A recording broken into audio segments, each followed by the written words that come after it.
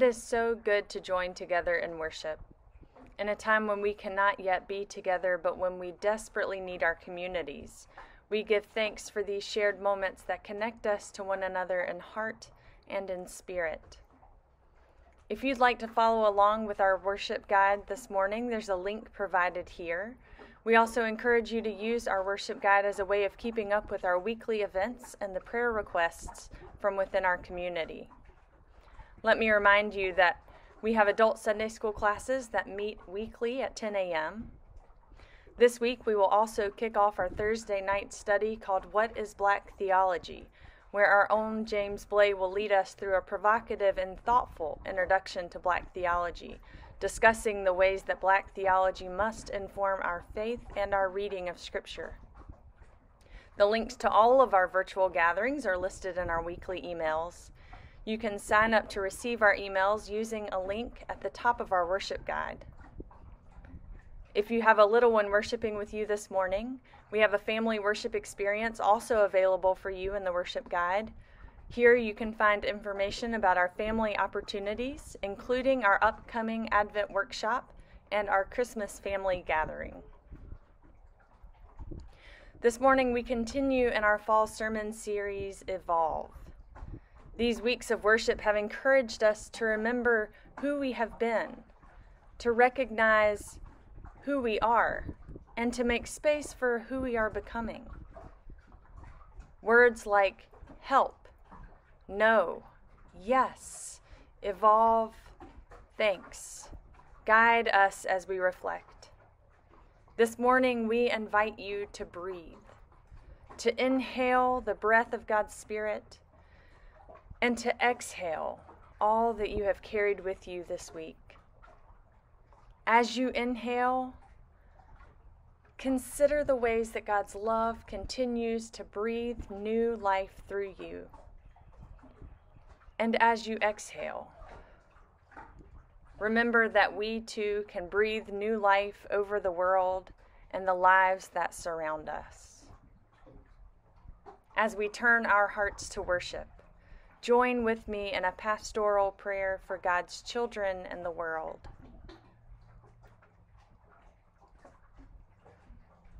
O God, with a single breath, you set the universe in motion. By a word, you established life. You gave purpose. You breathed goodness, and love burst into being. With your very hands, you sculpted mountain, mountains. You placed the stars. You crafted the horizon. From your handiwork came beauty and abundance of it. From the depths of yourself, you imagined a universe in communion with you and each other. You envisioned for us a place where we would all know the fullness of love and grace, of peace and justice. Holy Creator, you spoke forth love and life flourished. We also use words, God, but more often it is for harm. We breathe out too careless with our words. Our hands are busy, but not always for beauty's sake. You have extended your hands in acts of healing. Our hands bear destruction and division. Our imaginations are at work too, but in ways that create a world where some lives are more valuable than others. Forgive us, God, all of us, and guide us into a new way of being. Show us, O oh God, how our words can bring life. As you have so many times before, speak life now over our barren souls Breathe resurrection over our weary bodies. Show us, O God, how our hands can craft goodness and beauty. With your healing mercy, touch our broken world that we might have a renewed vision for your kingdom. Show us, O God, how our imaginations can nurture a depth of love that brings wholeness and that offers life. We pray these things, trusting in your faithful love. Amen.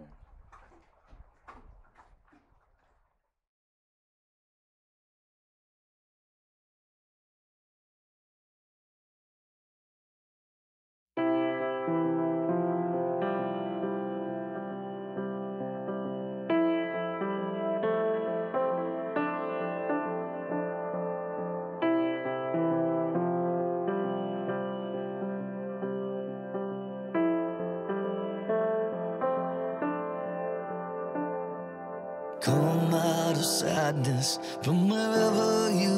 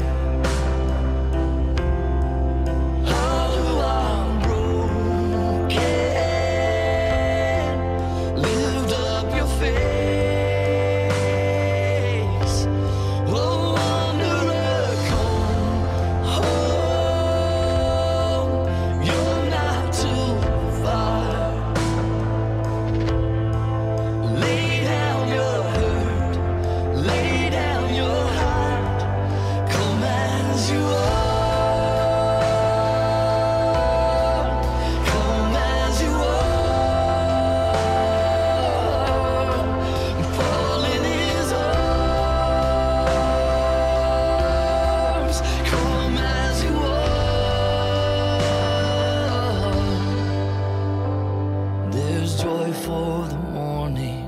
O oh, sinner, be still. Earth has no sorrow that heaven can heal. Earth has no sorrow.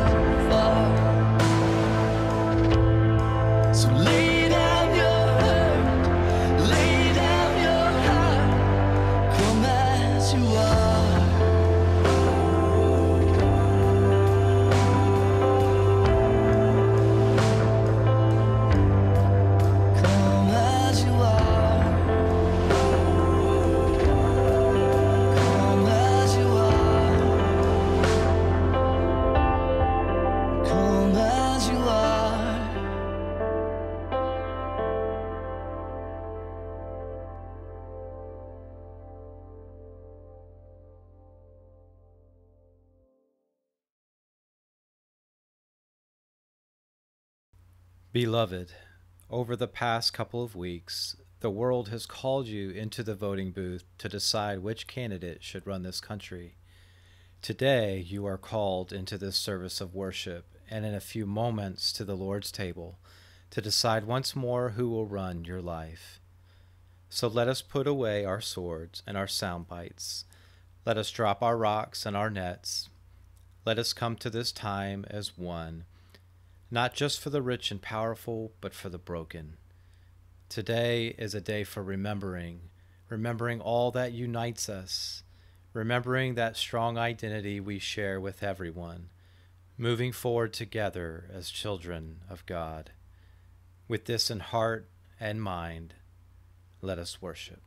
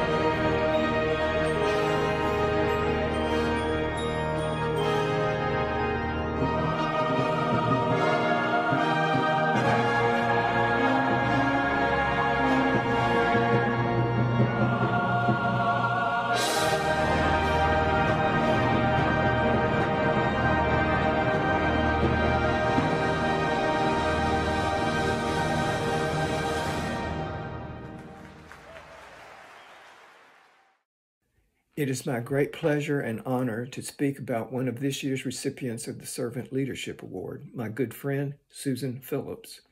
Susan is retired after working for 30 years in Guilford County school system, first at Sedalia and Millis Road Elementary Schools, teaching first and second grades, and later working in administration. She also served as an adjunct professor for five years at Greensboro College, where she taught methods classes in reading, math, and social studies for candidates majoring in teacher education and for potential lateral entry teachers. Because of her excellence and extensive experience in the classroom, Susan was selected to serve in the Department Professional Department of Professional Development of Guilford County Schools. In this position, she interviewed prospective teachers and served as a mentor for new teachers, providing invaluable one-on-one support for, from someone who knew what it was like to face a room full of six and seven year olds.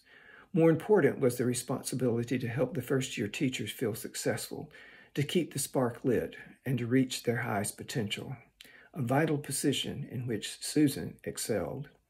Outside the classroom, she, she has served three terms and continues to serve on the advisory board to the North Carolina State Employees Credit Union.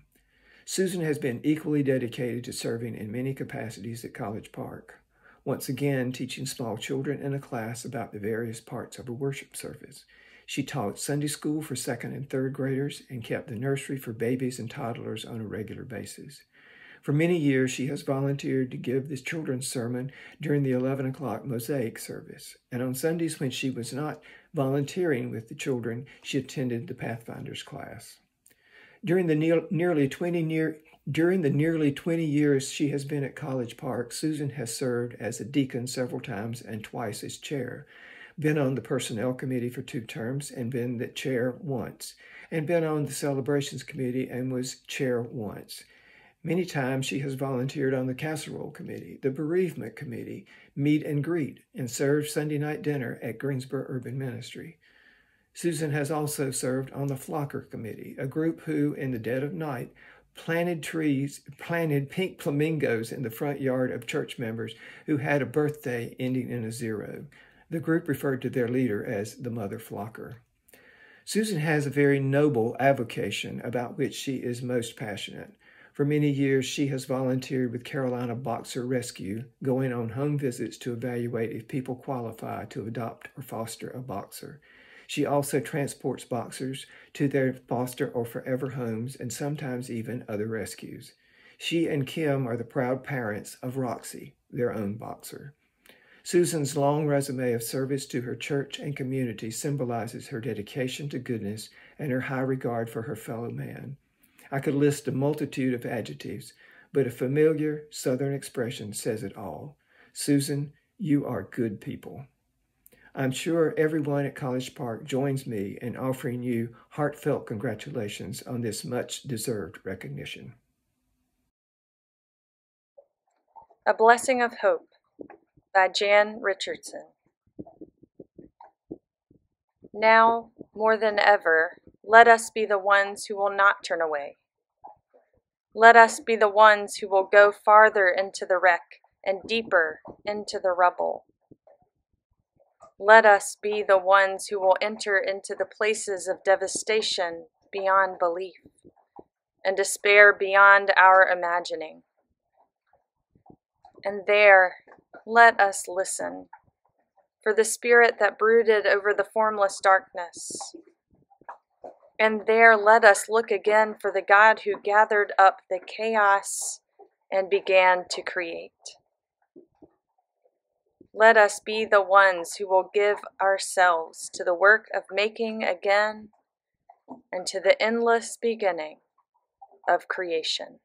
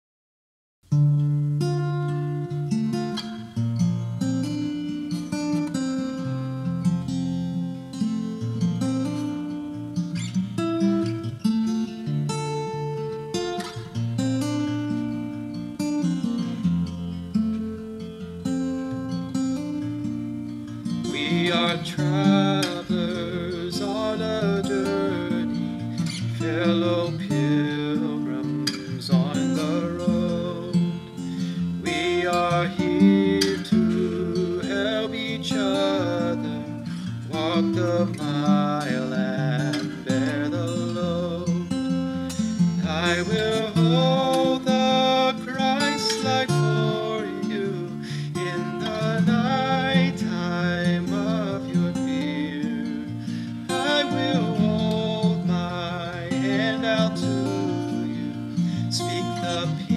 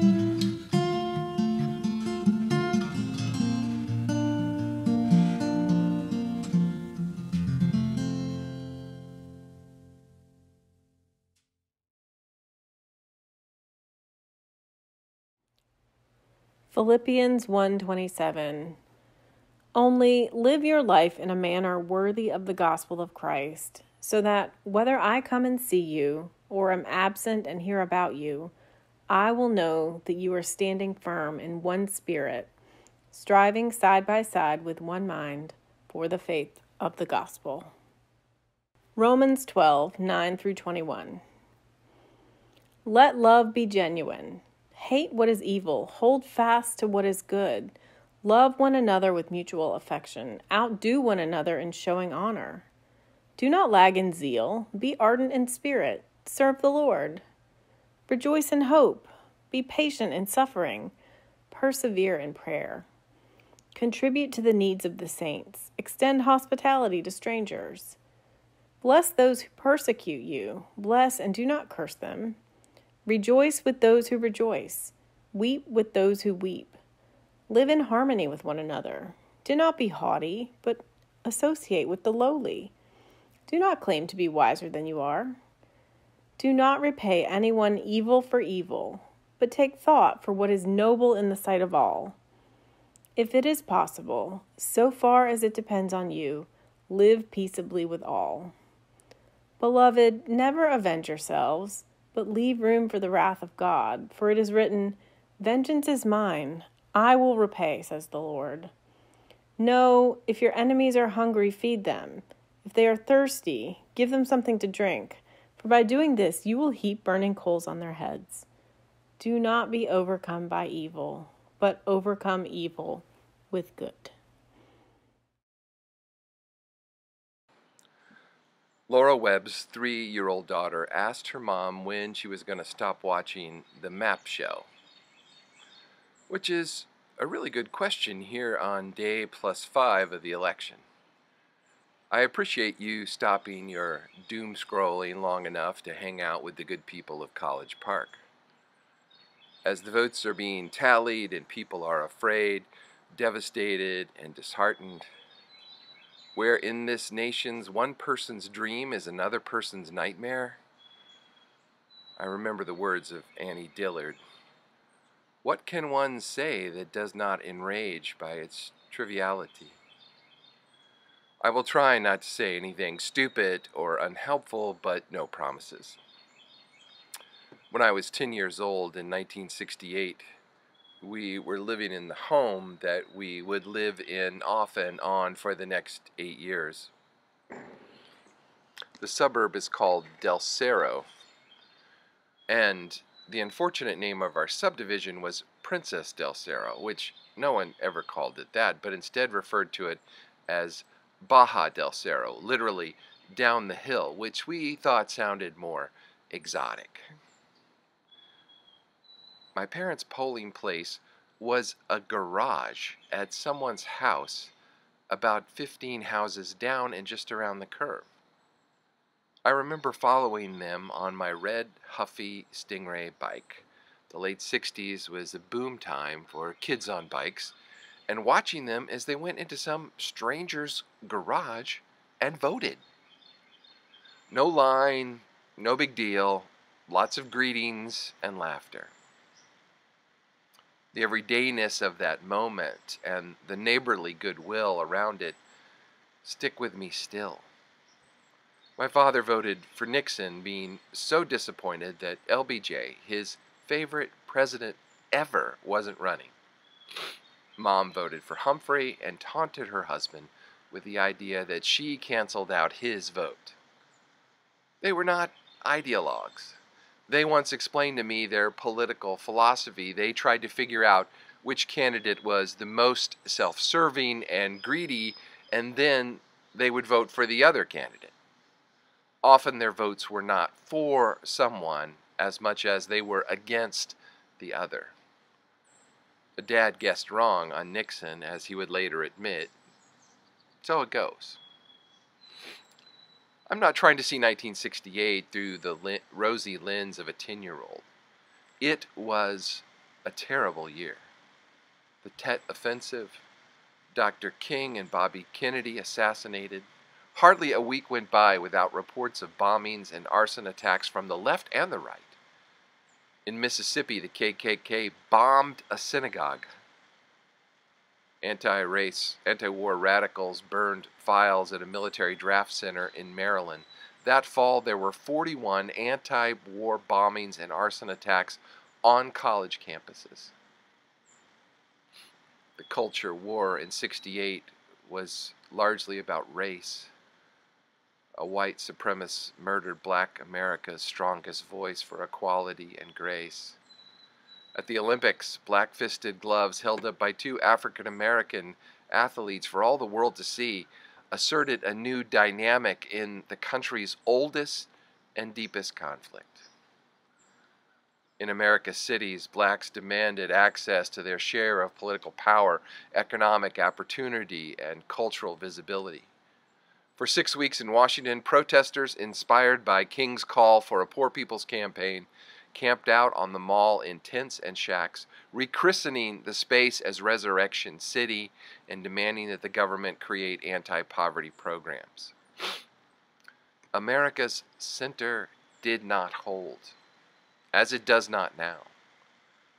But 220 is giving 1968 a run for the title the year that America unraveled.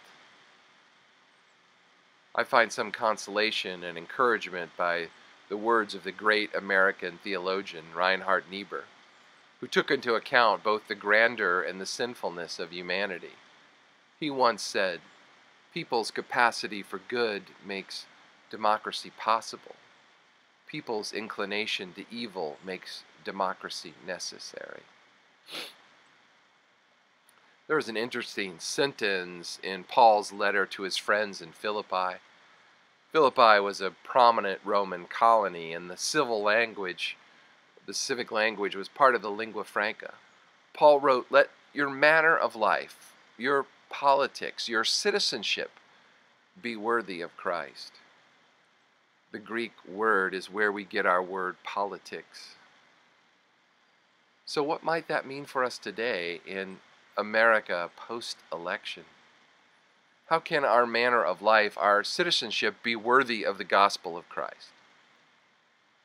The truest answer is I don't know. But let me put forth a couple of ideas that might spark some more considerations with you and yours. And here I'm following some of the thoughts of my seminary pastor, Stephen Shoemaker. Maybe the first thing to say on this confusing and troubling Sunday after the cluster of an election is that our primary allegiance is to Christ and our citizenship is in God's eternal love. So, we get into trouble when being Republican or Democrat is more crucial than our baptism. Later in this letter, Paul went on to suggest that we Christians have a dual citizenship in God's reign. But our citizenship, our politeuma, is in heaven, and it's from there we are expecting a healer, a savior, the Lord Jesus Christ. The word literally means our commonwealth. Philippi, as a Roman, was a as a Roman colony under the emperor, expected people to say Jesus is Lord. Dissent is a deeply Christian value, one we Baptists in particular cherish. There is a church building in Greensboro that has three flagpoles in front of their sanctuary. In the center is the tallest one with the American flag, with the so called Christian flag on one side slightly lower, and the North Carolina pole flag on the other slightly lower pole on the other side. Sometimes I think when I pass it by Jesus in North Carolina, tied for second. A second thing to say is that we Baptist Christians cherish the deeply American principle of the separation of church and state.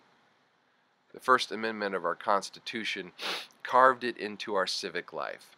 There it is freedom of religion and freedom from religion, too, alongside the freedoms of speech, of press, and of assembly. We are always tempted to trash this principle. The church craves the power of the state for its moral purposes. The state is greedy for the church's support to receive its political ends. There's much more that needs to be said about how sacred we Baptists view this wall between church and state, to use Jefferson's phrase, and how we were so instrumental in its creation. But that's another sermon for another time. So, what might that mean for all of us at College Park? Well, we, your ministers, are given by you a free pulpit. So all of us are free to articulate moral and ethical issues as we see them relating to political issues. And on the other hand, we honor the free pew in which you sat before the Rona, your right to disagree. And for this reason, we're extremely careful taking a position on, as a church, on political issues, such as the church did in supporting the February 1 1960 uh, sit-in of Woolworths and of our opposition to Amendment 1 and HB 2 a few years ago. And we will never advocate for our members to vote for a particular candidate. But we will speak out boldly on moral issues in the political realm, whomever is leading us politically. We encourage our members to express their values in the political realm without dictating what you should do. We help our members announce opportunities for such expression, like the recent book discussions on just mercy and the info by Sandra Westervelt on the Innocence Project. Outside the church, of course, each of you have a free pulpit as priests of God into the world. You can and you often do exercise that free pulpit, letting your conscience speak. God calls us to go into the public square and give voice, voice to our most cherished moral convictions. A responsible church does not dictate a certain single moral response. We help our congregants think through our moral commitments and to flex our moral muscles. A third thought Christians should recognize that one of the greatest political acts they can be a part of is to be the church. That is to embody the radical kingdom of God in the middle of all the other world's kingdoms, of all of this world's kingdoms. Duke Professor Stanley Hauerwas wrote that being the church as the formation of a people constituted by virtues necessary to endure the struggle to hear and to speak truthfully to one another. We can only be such a place if wanting to be right is less important than wanting to be truthful. It's significant that this month we are awarding the Servant Leadership Award to two outstanding women. And the scripture that defines that award is Philippians 2 4 to 5. Let each of you look not only to your own interests, but also to the interests of others. Let the same mind be in you that was in Christ Jesus. Susan and Susie continue to live out this mandate. We do lots of things here to repair the world, both in our everyday jobs and in our free time. We have scads of teachers, attorneys, nurses, therapists, community organizers, firefighters, social workers, business people, professor, professors, and even a vet or two, all of whom are working hard to be Jesus' body in the world. And of course, we have lots of members who are feeding, healing, teaching, helping everyone they can in their path. Fourthly, when we do enter the public square, we should do so with humility. We can claim the truth we've been given, but we never claim to have all the truth. Our convictions are tempered by a spiritual humility. We acknowledge that we could be wrong, but our humility should never lead us to timidity. Instead, our humility just keeps our conviction from morphing into arrogance. My last point when Jesus commanded his followers to love our enemies, this includes our political opponents and those who voted differently than you did. I think this will be difficult for many of us. I know I have lost friends over this election, a couple that I've had for over 40 years. This is a time in which we are getting more polarized in America, but a church like College Park can be a safe haven for diverse political and moral opinions. We're a congregation with a generous amount of theological diversity, more than most I know. Can this be a hallmark of our witness that College Park is a place where liberals and conservatives, where Democrats and Republicans can worship and work together, talking face to face about what is crucial to them? If that's to happen, then we must take special care to honor understand and listen to those who take different positions. It's no secret that I'm on the left on many issues. So I'll have to continue to take special care to those members on the right. But this is my pledge. I and my colleagues will be ministers and pastors to all in our congregation, no matter what your political or religious persuasion. This election was a national embarrassment. It shouldn't have been this close, not after caging children, not after so many outrageous lies, not after selling out our soldiers, not after 237,000 dead from the Rona, not after four years of breaking every law in the books. And things are going to get worse before they start getting better. But so many Americans did vote this time putting to rest finally the debate if any one person's vote counts. My hero, and probably yours too, Re- Representative John Lewis, said in a 2012 speech in Charlotte My dear friends, your vote is precious, almost sacred. It is the most powerful, nonviolent tool we have to create a more perfect union. He also said, I want to see young people in the world feel the spirit of the 1960s and find a way to get in the way. To find a way to get into trouble. Good trouble. Necessary trouble. Good, necessary trouble. That, my friends, is the way of a citizenship worthy of the gospel of Christ. Today, I must agree with Princeton professor Eddie Glaude that says race continues to confound, confound this democracy it is our original sin that still divides the nation. Our work dismantling the systemic racism in our culture and the deep biases and racism that exists in ourselves continues as it should. We have much more work to do than what some of us may have thought.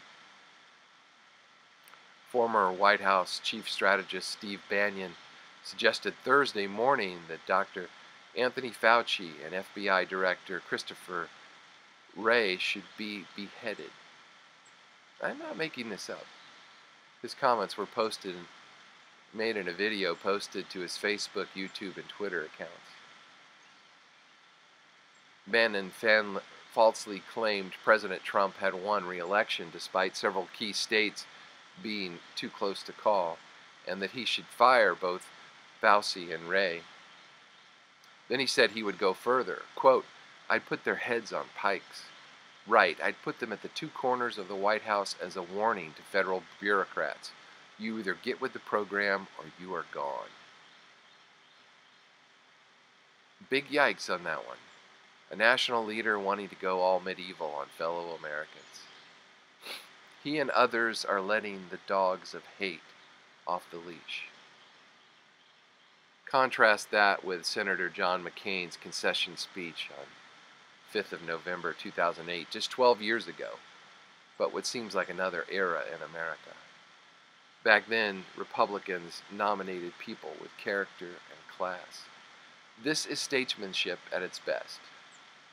He said, Senator Obama and I have argued our differences and he has prevailed. No doubt many of those differences remain. These are difficult times for our country. And I pledge to him tonight to do all in my power to help him lead us through the many challenges that we face.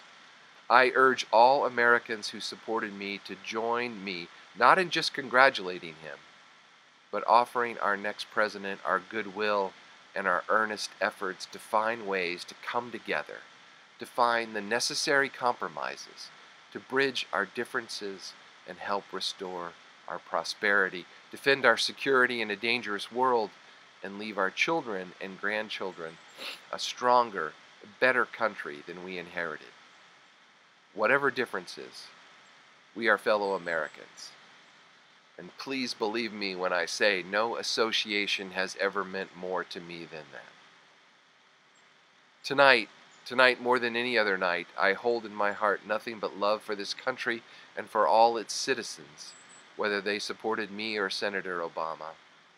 I wish Godspeed to the man who was my former opponent and will be my president. And I call on all Americans, as I have often done in this campaign, not to despair of our present difficulties but always to believe in the promise and the greatness of America. Because nothing is inevitable here. Americans never quit, we never surrender, we never hide from history. We make history. So Paul said, let your manner of life, your politics, your citizenship be worthy of the gospel of Christ. Let's figure out what that means together.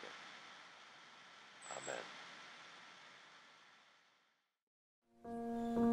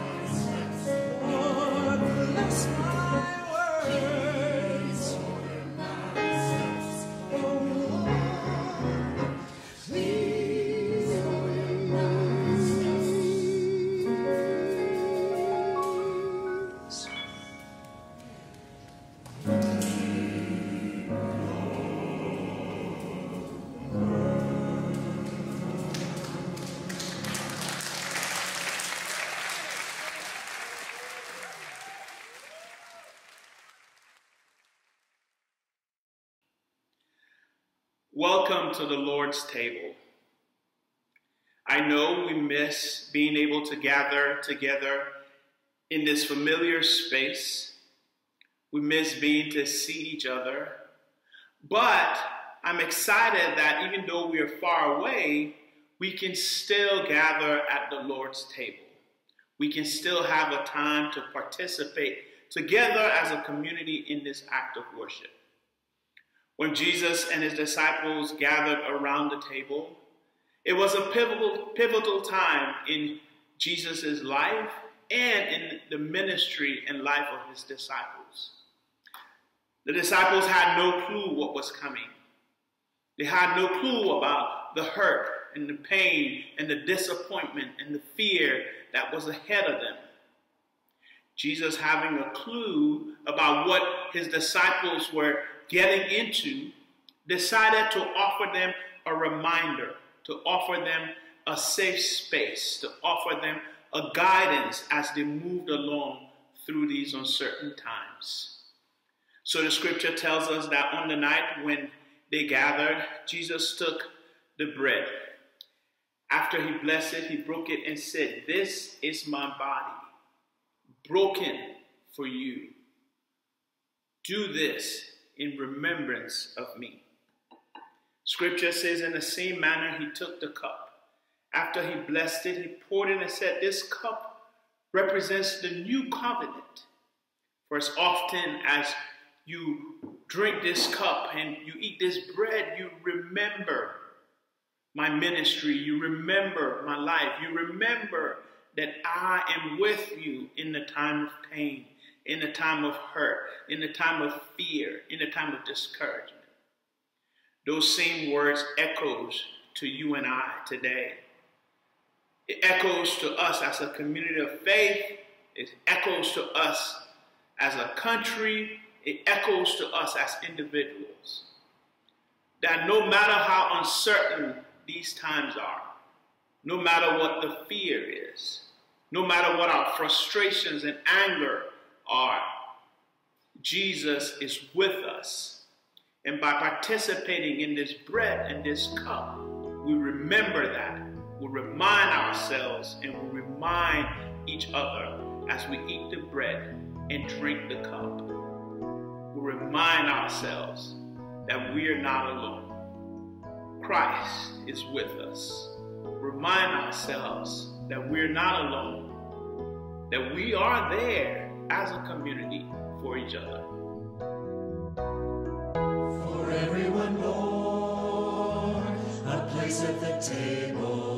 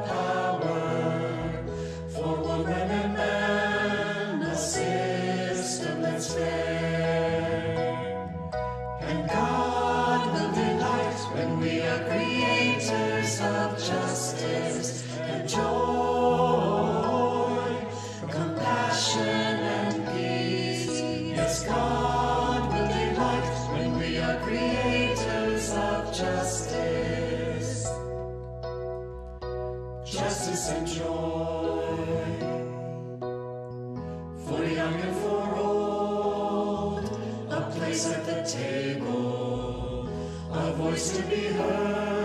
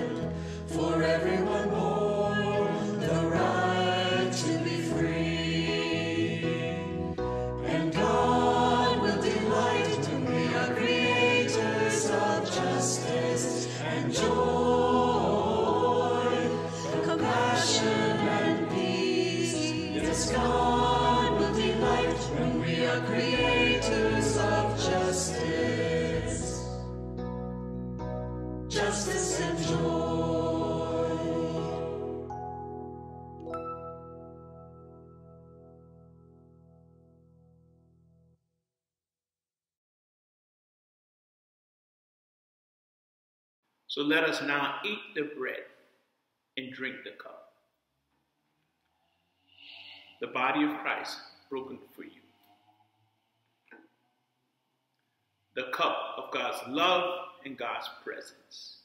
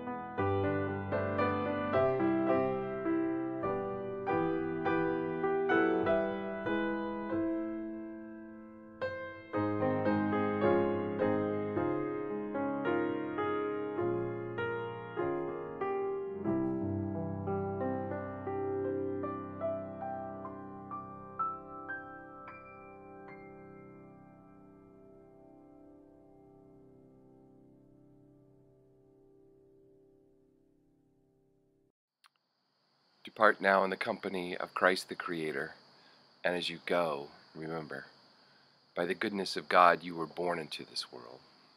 By the grace of God you have been kept all day long, even unto this hour, and by the love of God, fully revealed in the face of Jesus, you are being redeemed.